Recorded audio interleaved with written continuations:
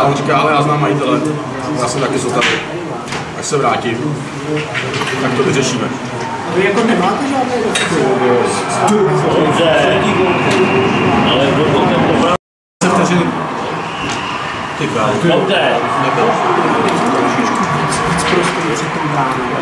Trošku to